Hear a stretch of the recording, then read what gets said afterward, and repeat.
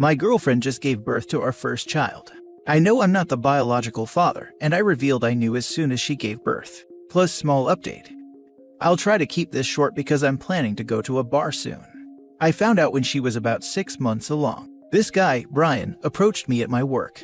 Are you Sarah's boyfriend? I said yeah and asked what he wanted. He said he was sorry, but that he had slept with her and swore he didn't know that she was with someone. I don't believe that. He then pulled out his phone to show the texts between them. They had been sleeping together or linking up for at least a year. Then she found out she was pregnant, and they came to an agreement to just pretend the baby was mine. In return, she wouldn't lose her perfect life, and he wouldn't be responsible for a baby. I knew it was weird. We had been having problems trying for a baby, and all of a sudden, she got pregnant so easily. But he explained that he had been thinking about it, and he recently became a Christian. He said that he couldn't live his life knowing that I was living a lie, while his child didn't know their real father. So, yeah, I told him I'd keep in touch and to not say that he said anything just yet. I've had a lot of time to think, but ultimately, I decided to wait until she gave birth, to hurt her in her most vulnerable moment. I'll spare the details, but she went into labor, baby was born, and was taken to the NICU to be monitored for a bit. What should have been a beautiful moment of me holding my baby was the most heartbreaking time of my life. Just knowing he was not mine hurt me. Once she was sewn up and comfortable, I started packing up my stuff to leave. She asked where I was going, and I just told her. I know I'm not the baby's father. You can act all shocked, but I know. Just ask Brian to come. I'm positive he'll sign the birth certificate. Then I left. She's been calling my phone over and over, even sending texts as I type this, and has even gotten her sister to call me a few times. It was hard pretending these last few months, but I think I'm satisfied. I feel really, really heartbroken though. I was planning to propose to her on the day our baby was born. I was gonna make her the happiest woman ever. Oh well, I'm going to go get very drunk now. Now for the top advice before reading the update. I did a sigh of relief when I saw you're not married to this woman. Take power from that. You can move on much easily. Same. Good riddance. I'm so sorry. No one deserves this. The crap she pulled is absolutely evil. It will get better with time, and you will be happy again with someone who deserves you. Go ahead and let her and Brian deal with this situation on their own. Shoot, I'm relieved he didn't sign the birth certificate. Some states consider him the actual father at that point. Seriously, and he should be glad they aren't married and living in my state. In my state, if you're married, the father automatically goes on the birth certificate, even if baby isn't his. My state requires a year of separation before divorcing, but my ex husband and I did not legally separate until we had already been apart for almost a year and dating new people. I got pregnant three years after we separated, but we were still legally married. I had to pay a lawyer and go through a lengthy process to get his name off the birth certificate and get the real father's name put on there. It was a hassle. Get a DNA test just to be 100% sure the child isn't yours. But you did the right thing leaving her. Now make sure you have the text from Brian so she can't twist the narrative. You also need the DNA test so she can't put you on child support, because if you're in the USA, it'll be hell to get you off of it once the courts deem you the father. I'm like 110% sure that is not my kid just from looking at him, but I'll get the test. I get that, but it just to be on the safe side. You wouldn't want to find out 10 years later that it's yours, and you missed out on all the time and moments with the child. It won't hurt having something definitive that says you aren't the father. Might want to get a DNA test first, as this happened to my parents. My mom was messing around with my dad's friend. My dad knew. My brother was born, and my dad divorced my mom. My brother was beet red baby. My mom is half native, and her lover was Mexican, so everyone concluded based on my brother's looks that he must be the other guy's son. Five years later, my brother is sporting fair skin and blonde hair. They did a paternity test, and he was my dad's after all. Took another six years for my dad to get custody. He's 35 now and looks like our dad's doppelganger. Yes, the red skin was a covert boomer racist assumption about indigenous skin. People actually believed that nonsense in the 80s. Damn, I wish I could give you a hug and buy you a drink if that's what you want. I can't even tell you how sorry I am. Thanks, man. Appreciate it. Now for the mini update. Head hurts, but I'm home and safe. I wasn't really expecting this to gain as much traction as it did, but I'll clear up a few things. Brian is going to be in the baby's life if it's his. I don't care what anyone says, I'm sure the kid isn't mine. I'll go get tested, but me and Brian have been in contact since last night, and there isn't a doubt at my mind. For those of you calling me a psychopath or whatever, I don't really care. You'll all forget about this post in a day anyway, while I'll have to live with this crap for the rest of my life. What I did wasn't amazing, but I don't care. All I ever did was treat her amazing, and this is how she pays me back. If you think this is fake, go read something else. Doesn't matter to me. Last story. Update. I found out my 31 male, ex wife 27 female, cheated on me while she was pregnant. Now she says I'm emotionally manipulative because I'm cold and distant during custody switches. Original post. I found out my now ex wife had been cheating on me last year when she was six months pregnant. The affair happened before and during the pregnancy. She had reasons and excuses and didn't want to get a divorce. She wanted to stay together and do couples therapy. I told her to go ahead and get therapy, but cheating was a deal breaker for me, so we got a divorce.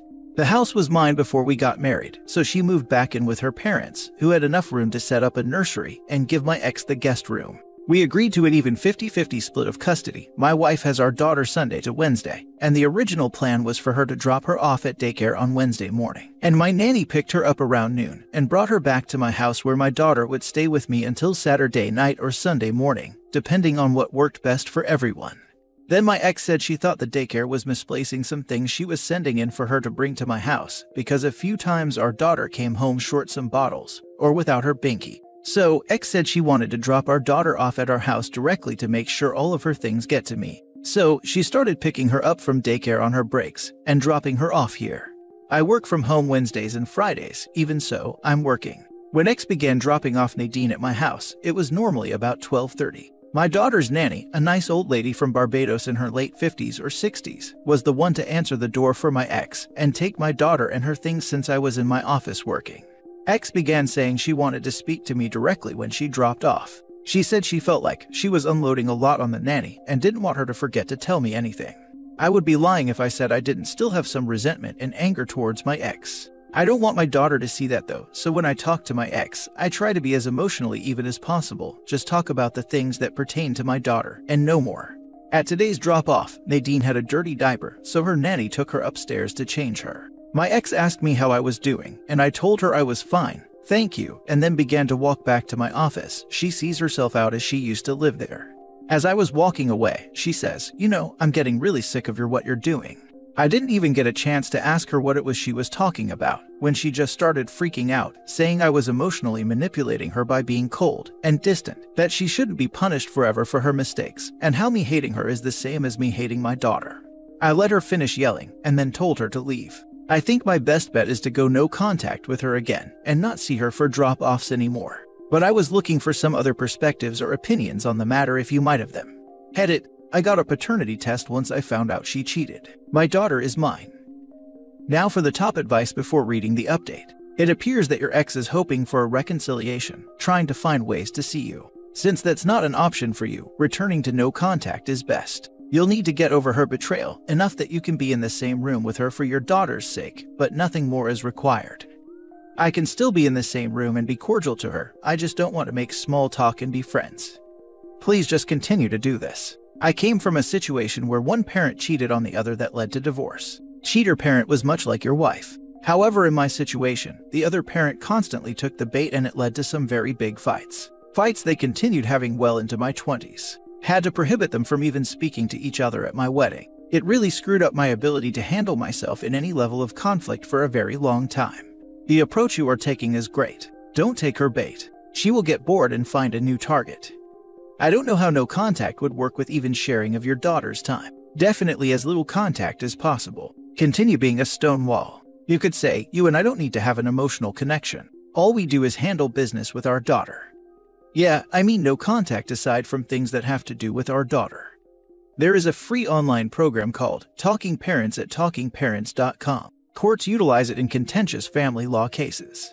It's essentially an email chain. The benefits are the time the message is sent is recorded, the time the message is seen is recorded, and messages cannot be edited or deleted. If UX's excuse for modifying your parenting plan is that she wants to talk to you about your daughter, this is the solution. In the event you need to defend yourself, protect your reputation, or protect your daughter, you just press print.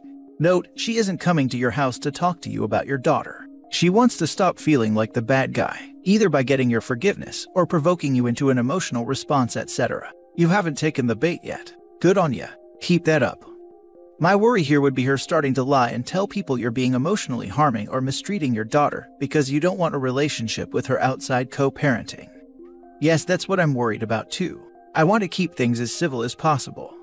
Put a camera in the area by the door and have it record audio plus video, and tell your ex that you're now recording the drop offs and pickups. If she has another outburst like that, you'll have it as proof you're not doing anything wrong.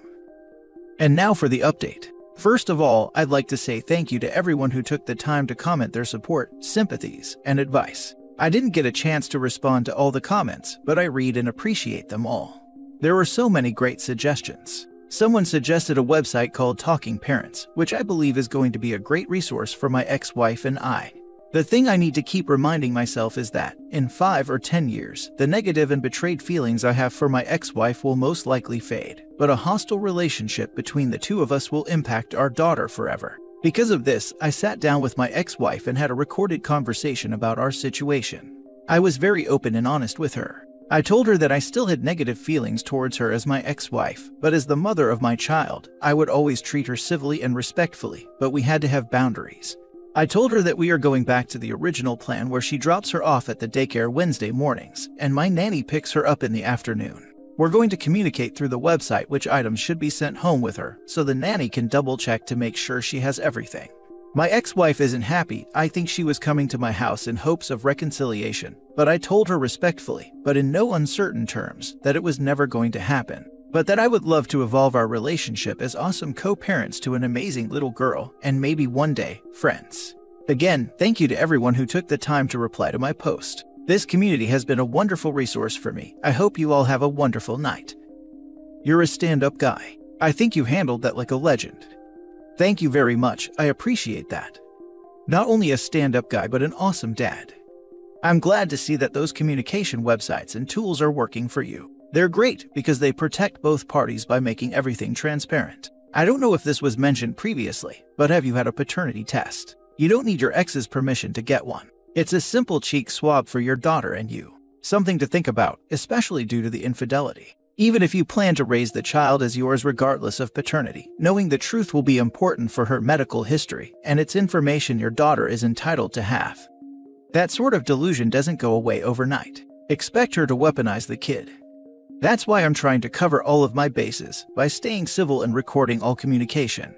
Yes, this, but you're doing all the right things. Don't let up at all. She's immature and vindictive. She's angry that you walked away with your head held high. Be aware the chances are high she's going to smear you to everyone who will listen. Also, pay attention to signs of parent alienation when the baby is old enough to understand. Your ex is petty and embarrassed that she messed up a good thing with you. Could you imagine going from being a married woman to being an ex wife and now living in a guest room in their parents' house? It's easier to blame you than face her BS, be accountable and responsible. Keep up the great work. Navigating the whole co parent thing will have its ups and downs, but hold to the attitude you wrote here no matter what. Keep yourself clear. Hopefully, things will go as smoothly as possible, though there may be setbacks and crappy times ahead. Your ex has issues. Things won't get better overnight, and she may get worse before she gets better. That kind of selfishness can be hard to overcome. Cheaters are disgusting, but at the end of the day, you have a lovely daughter and so many wonderful times ahead with her.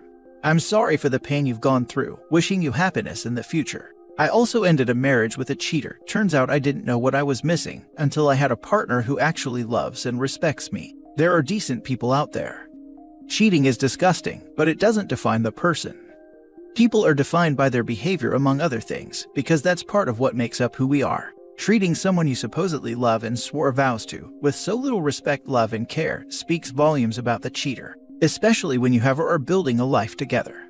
It doesn't mean they can't change and grow. Some do, Others double down on saying it doesn't define them or it was just a mistake, as if it wasn't a deliberate series of decisions.